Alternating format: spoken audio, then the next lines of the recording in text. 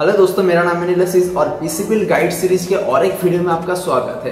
दोस्तों, आज के इस वीडियो में मैं आपको बताऊँगा कि अगर आप अपने पीसी के लिए एक मॉनिटर खरीदना चाहते हैं तो कौन सा मॉनिटर बेटर होगा? यहाँ पर मैं कोई मॉनिटर रिकमेंड नहीं करूँगा। आपको सिंपली समझा दूँगा कि एक मॉनिटर खरीदने से पहले क्या क्या चीज़ों की ध्यान रखना पड़ता है। तो दोस्तों, चलिए देखते हैं।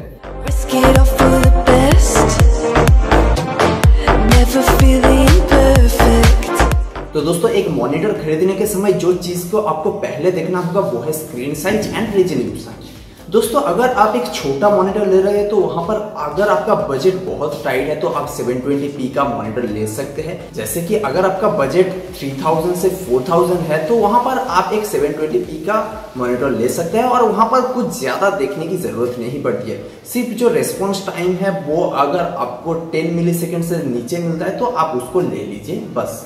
और यहाँ पर अगर आपका बजट थोड़ा ज़्यादा हुआ तो यहाँ पर आपको पहले देखना होगा स्क्रीन साइज़ उसके बाद रेजोल्यूशन दोस्तों, आप पहले फिक्स कर लीजिए कौन सा स्क्रीन साइज़ की मॉनिटर लेना चाहते हैं अपने बजट में. जैसे कि मैं मानता हूँ 22 इंच का मॉनिटर आप लेना चाहते हैं.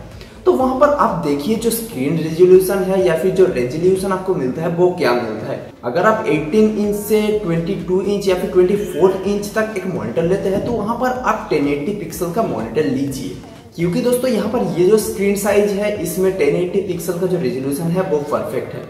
और यहाँ पर अगर आप एक 27 इंच या फिर 32 इंच का मॉनिटर लेना चाहते हैं तो वहाँ पर एटलीस्ट आप 1440p जैसे कि 2K या फिर 4K रेजोल्यूशन देखिए। दोस्तों, यहाँ पर 27 इंच या फिर 32 इंच पर आप 1080 पिक्सल पर मत जाइए, क्योंकि अगर आप एक बड़ा स्क्रीन साइज़ पर एक छोटा पिक्चर को बड़ा करके देखते हैं तो वहाँ पर आपको थोड़ा सा ब्लरी मिलेगा। तो यहाँ पर मेरा रिकमेंडेशन है, अगर आप एक 24 इंच के अंदर कोई भी मॉनिटर ले रहे हैं तो वहाँ पर एटलीस्ट 1080 पिक्सल का मॉनिटर लीजिए। उसके बाद अगर आप 27 इंच या फिर 32 इंच पर जाना चाहते हैं तो एटलीस्ट आप 2K या फिर 4K रेजोल्यूशन लीजिए।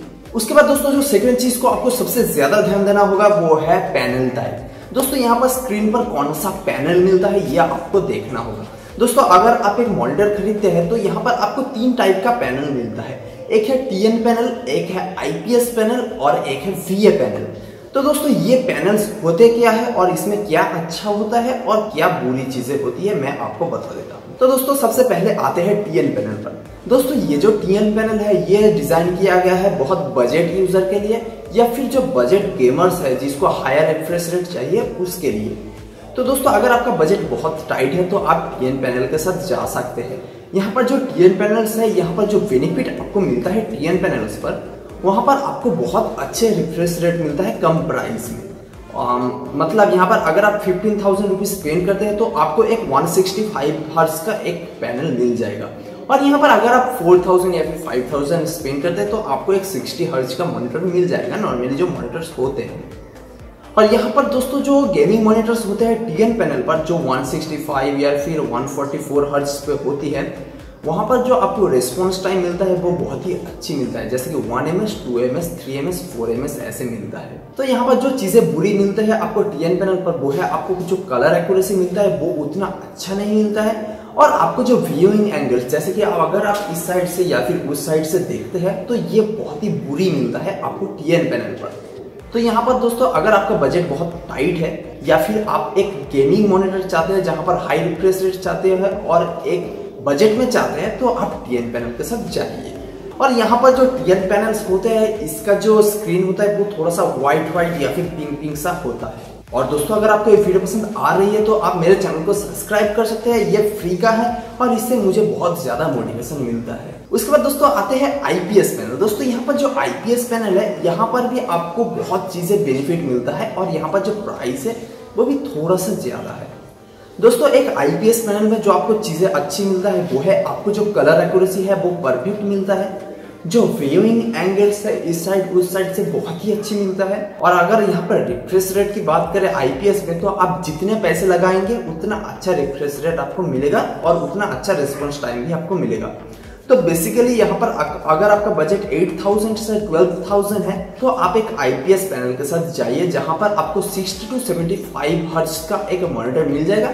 और यहाँ पर बेसिकली जो रिस्पॉन्स टाइम होता है, वो है 4 टू 5 एम होता है। और दोस्तों, जो तीसरा पैनल आपको मिलता है, वो है वी पैनल दोस्तों, ये जो वीए पैनल है, ये आता है टीएन पैनल और आईपीएस पैनल के बीच में।